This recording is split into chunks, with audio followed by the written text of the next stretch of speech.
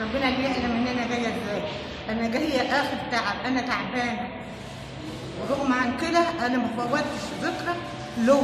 إلا لما يجي آجي أحييها واقرا له الفتح. علشان أنا من من من من من من جيل جمال عبد الناصر. وحضرت ال- الانجازات اللي عملها في الشعب الوطني الغلبان اللي كان تحت سيطرة القطاعين وال- وال- والاجانب انت يعني بت- بت- بتصر ان انت تيجي كل مناسبة ل- باجي أنا على طول. باجي على طول.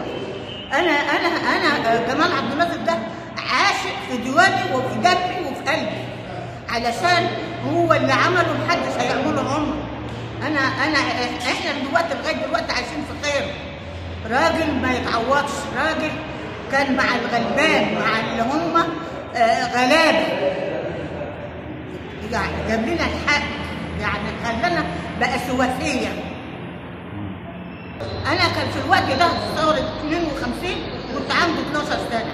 أنا حاضره الإنجازات بتاعته والحاجات اللي عملها لنا وراجل يعني